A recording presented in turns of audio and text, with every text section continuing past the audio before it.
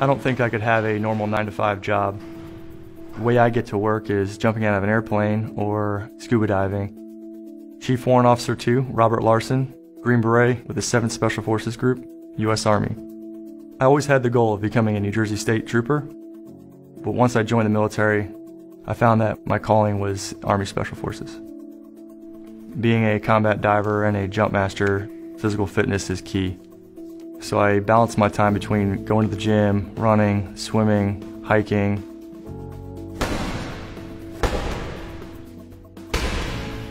We deploy all around the world, very far away from major bases or major support.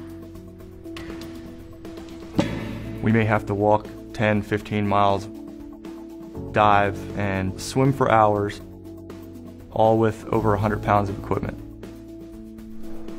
Throughout my career, I've deployed 11 times, seven of which to Latin America, four to the Middle East. Our job is to build the capacity of the foreign military we're working with. With the uncertainty of the missions we conduct throughout the world, working as a team is incredibly important. The one certainty we always have is the soldier to your left and right. We live together, we train together, we eat together, we watch each other's back.